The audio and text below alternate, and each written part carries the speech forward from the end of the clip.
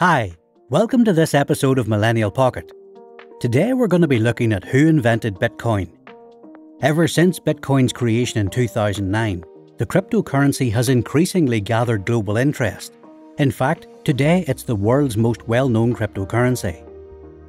Bitcoin's most unique advantage comes from the fact that it was the very first cryptocurrency to appear on the market. It has managed to create a global community and give birth to an entirely new industry of millions of enthusiasts who create, invest in, trade, and use Bitcoin and other cryptocurrencies in their everyday lives. But who invented the most popular cryptocurrency in the world? Who is Satoshi Nakamoto? Let's take a look.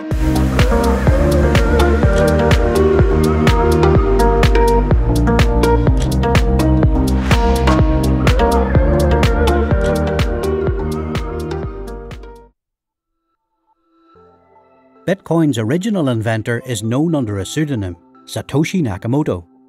In August 2008, the domain name bitcoin.org was quietly registered online. And two months later, Nakamoto published Bitcoin's white paper on a cryptography mailing list in which he described in detail how a peer to peer online currency could be implemented. Nakamoto proposed to use a decentralized ledger of transactions packaged in batches called blocks and secured by cryptographic algorithms. The whole system would later be called blockchain.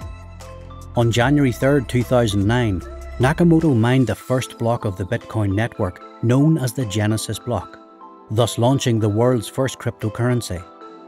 Over the course of the next 20 years, a total of 21 million coins will be released, and to date, about 18.5 million have been mined. After the official launch of the first version of Bitcoin software, Nakamoto collaborated with software developers and coders online over the next couple of years to improve the software. In 2010, the value of a single Bitcoin was roughly 8 cents, and by the end of the year, the total value of the cryptocurrency topped $1 million. However, no one ever knew the true identity of Nakamoto, as experts believe the pseudonym could have represented either one person or even a group of people Several individuals have been proposed, but none have been proven to be Satoshi Nakamoto beyond a doubt. But before I will dive into 5 candidates in this video, we have to keep in mind two facts. The first one is that Bitcoin was coded in C++, and the second one is that Satoshi had two language quirks. When he wrote in the Bitcoin forum he used two spaces after a period, and also British English, judging by his spelling and colloquialisms.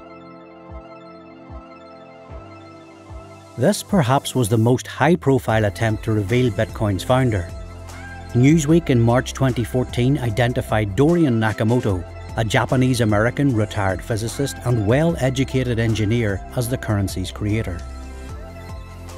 Publication of the article caused chaos in the crypto space and wider tech community, as this was the first time a mainstream publication had attempted to learn the identity of Bitcoin's creator.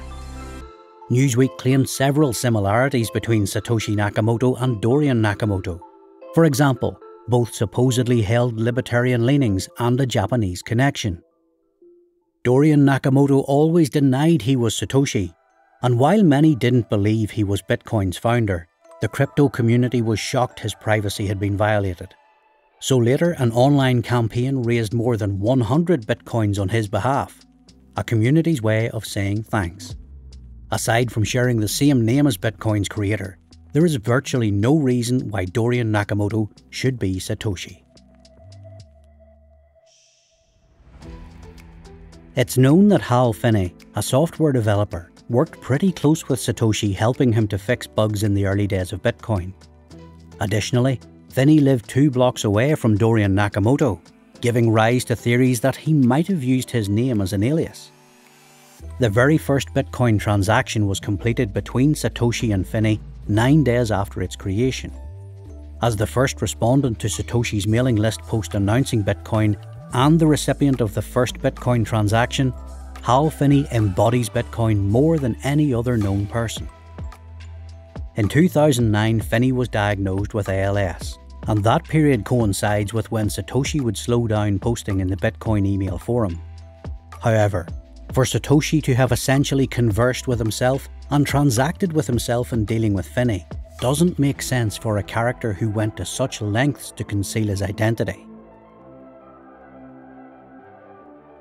Another candidate is Nick Szabo, a Hungarian American computer scientist and cryptographer. Szabo graduated from the University of Washington in computer science and is also proficient in law and economics.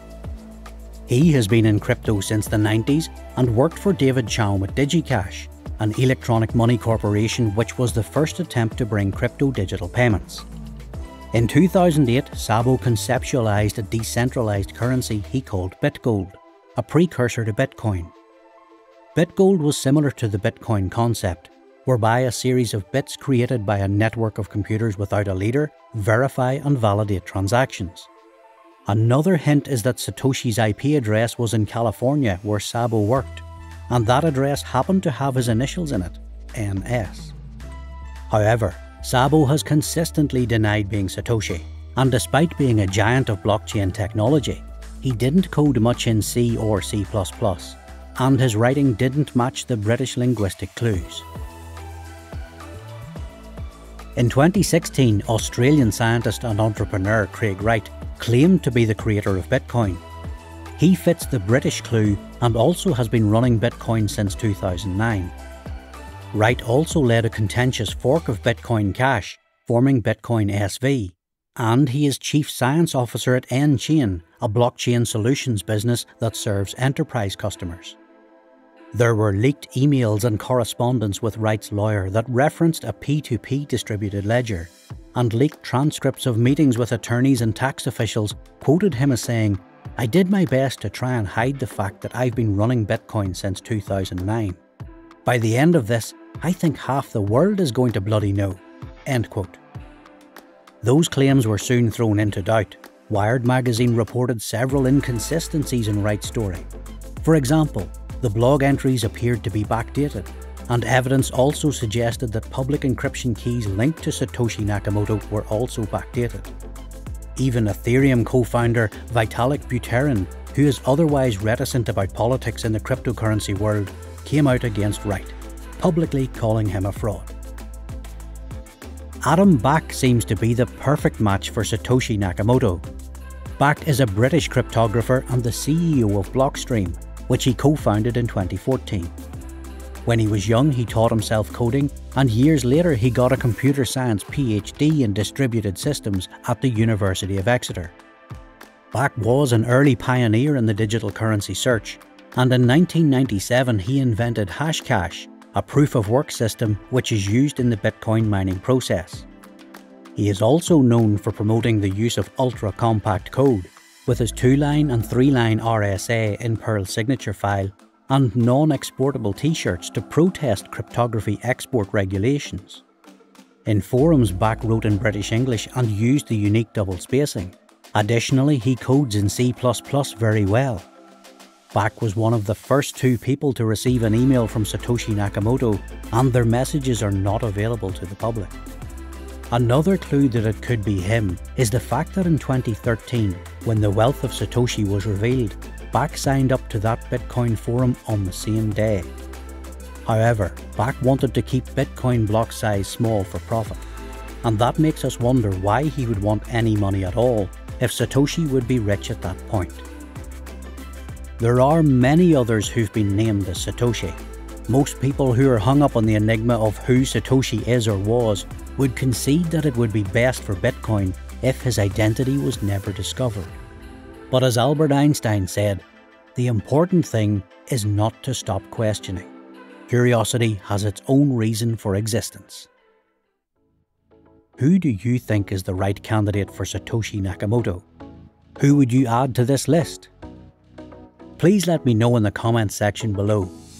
Leave a like if you got some value from this video and subscribe to the channel if you want to see more videos like this. Feel free to follow us on Instagram, we post every day there. I hope you really enjoyed this video. Thanks for watching guys. Until next time.